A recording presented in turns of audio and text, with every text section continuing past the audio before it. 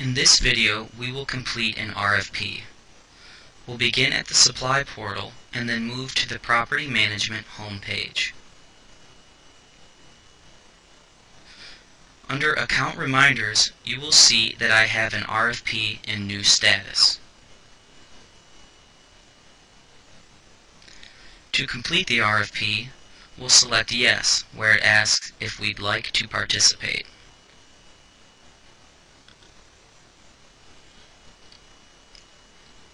Step 1 of the RFP allows you to read the account documents and select the rates that will be offered to the account. If you have not read them already, you can read the account documents by clicking on the link. Once this is done, check the box indicating that you have read the account documents.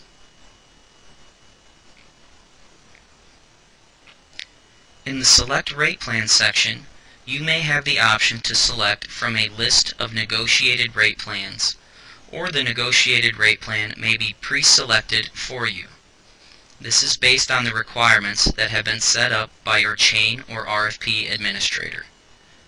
Please note, if you are at step 1 of the bid and this section is grayed out, you will need to contact your system administrator or review your rate plans to complete all necessary steps. If you attempt to view the rate plan details before reading the account documents, this pop-up window will remind you.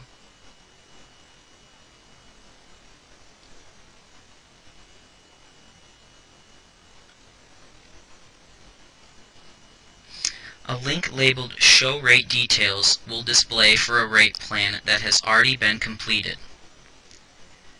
A link labeled Add My Rates for this rate plan will display for rate plans that have not been completed.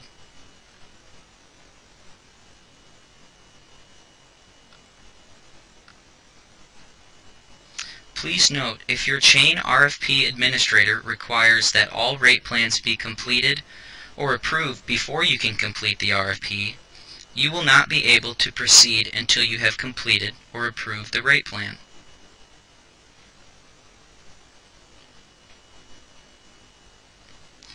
To view and or add the rates, click on the link Show Rate Details.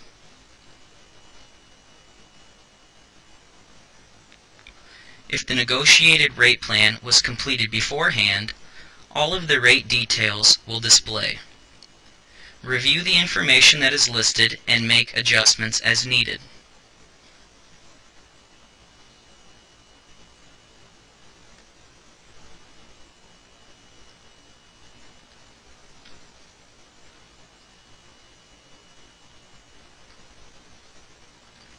If you have not completed the rate plan, when you click Add or Update My Rates, you will be able to enter the required information.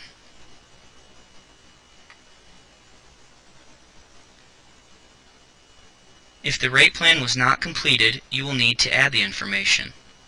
Please note that the ability to adjust the information is provided by your chain or RFP administrator.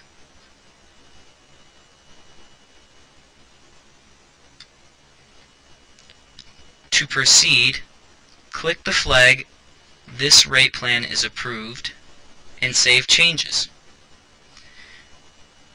Please note you may not have the option to flag the rate plan as, as approved. This is based on your chain's processes.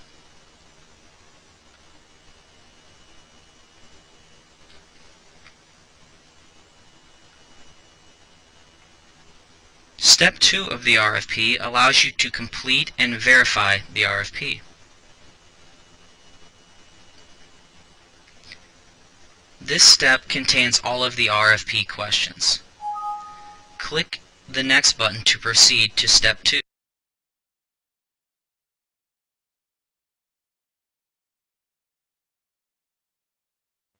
Okay, so next you will be watching a video on how to perform the second step for completing a bid in Lanyon. It's easy, you'll see. When you're ready to start the video, the filter can be used to see all of the questions, mandatory questions, or blank mandatory questions.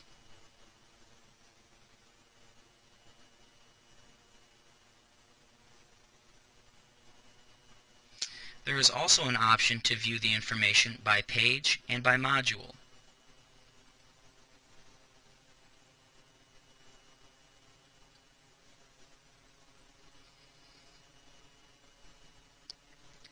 The fields will be pre-populated with data that is in your Property Profile section. You will have the option to review, answer, and make updates to the fields.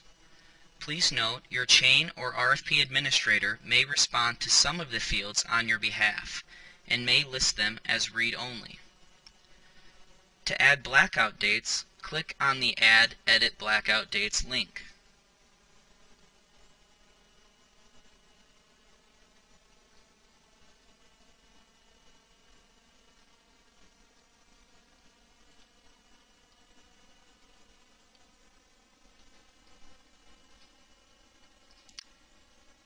The Verify button will set your bid to a verified status. Click on the Next button at the bottom of the screen. By doing this, you will also set your bid to a verified status and move to the next step of the RFP.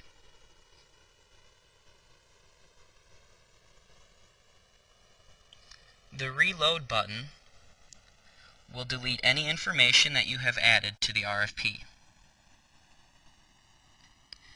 The View Help document will display the field mapping for the RFP.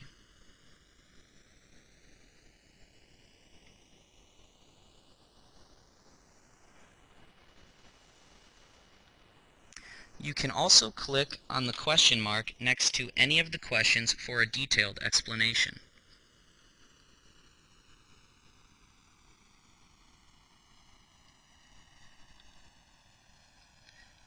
Changes are made on any page, please click Save Changes at the top of the screen. When you are done, click on the Next button to continue.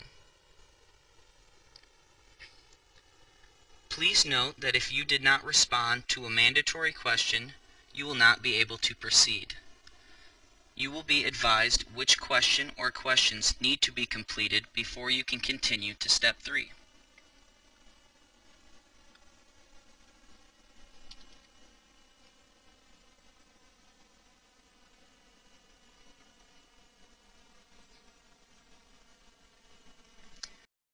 To complete a bid, among other things, you must provide answers to all mandatory questions. Is this true or false?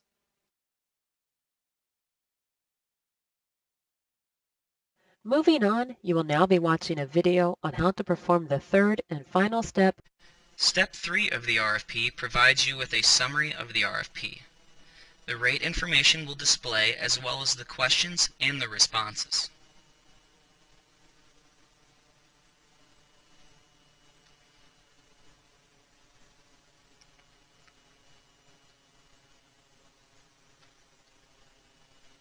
If the data is correct, check the box for I have reviewed the bid, its terms and conditions, and approve it for submission.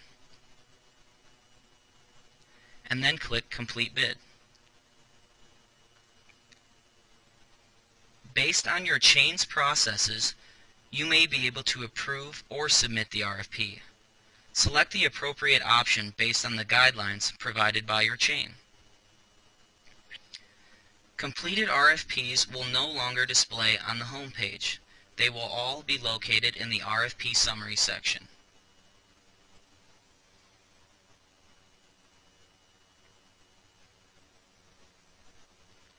This concludes the training session on completing an RFP.